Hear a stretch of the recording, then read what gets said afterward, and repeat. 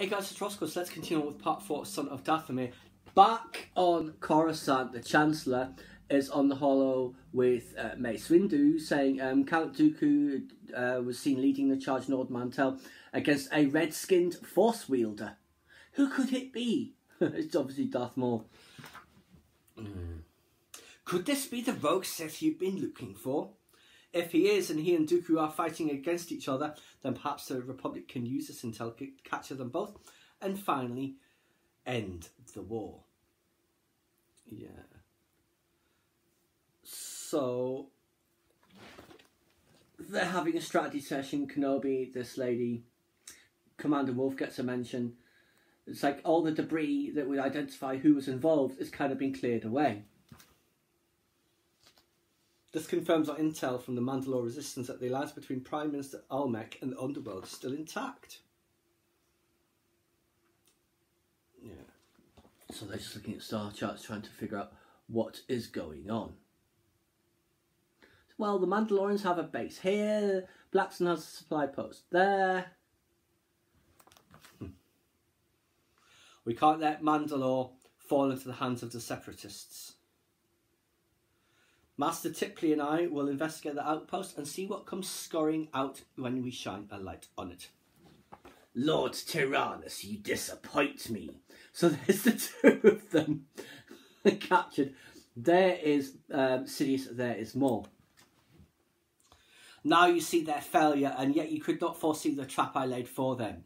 Your schemes are unravelling, Sidious. Without your generals, your armies will be crushed, as will your plans. That only proves their weakness, not my own. What are your demands? Not my demands, Mother Talzin's. Yes, you remember the mother. She was your ally, but you used her as you used me before throwing us both away, as you will these two. Kill them. I have no more use for either one of them.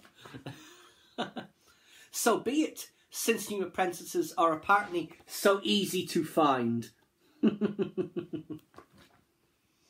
Tread lightly, Maul. Revenge is a dangerous game, one you never seem to learn. I only lost when I followed you, old man. What do we do with them? Take that monstrosity and put him in the brig. That means, of course, uh, Grievous. Now, as for Dooku, leave Count Dooku and me alone. We have much to discuss. It would be unfortunate if next time we met Count, I had to add your lightsaber to my collection, Grievous says to Dooku. We all have our parts to play, General. I look forward to our next encounter. So she's saying, I sense your um, turmoil because the last time you came across Morley murdered the Duchess Satine that you liked. And there is uh, Commander Cody down at the bottom.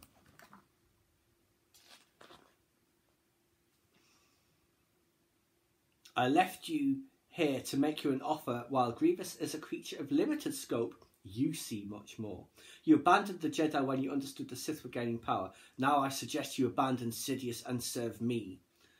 Do you really believe there is any power in the galaxy that can stand against my lord? 10,000 Jedi Knights will try this and all will fail, and all will fail. Uh, what hope will your army have? What hope will you have? Mother told, Talzin has shown me the real power. She's shown me the truth.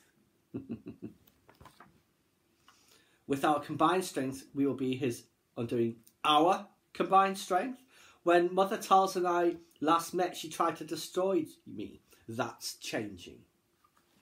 Count Dooku, forgive our previous disagreements. Time to make a deal. You know to betray the Dark Lord as folly. Hmm. So she's just mentioning that uh, when Sidious came to get Maul back when he was a child, that it's his son. Her son, rather. When he was no longer useful, Maul was left to die. Sidious will betray you as he betrayed us, but I will honour our alliance should you accept it. Join us. Together we can destroy Sidious and rule the galaxy, or you can choose to die here alone. And that is where we shall pause this part and pick it up in the next.